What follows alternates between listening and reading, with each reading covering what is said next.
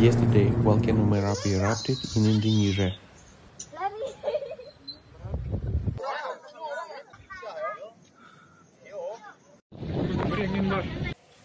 As a result of the eruption, ash emission rose to a height of several kilometers.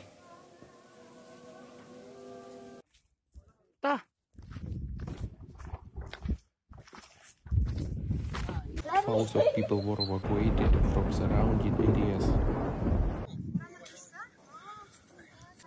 Gunung Merapi melatui. The authority declared a state of emergency and creating temporary shelter center. Masa gua gampo ini kan? Ah, kamari arah no? Ya. Kamari arah no? Gua bayu orang mama. There is a strong impact on air traffic in the region.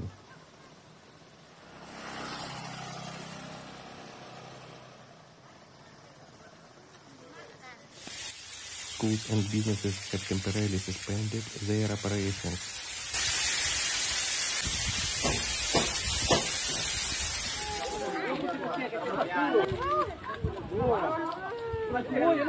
Local residents report earthquake and roaring sound from the center of the volcano.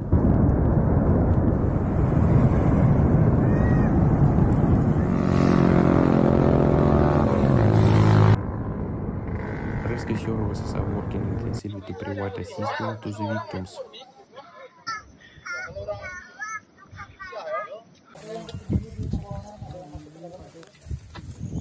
Ni tak ada orang ni weh.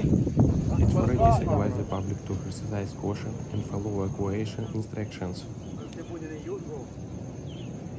Jadi teman-teman kami menyelamatkan diri dulu.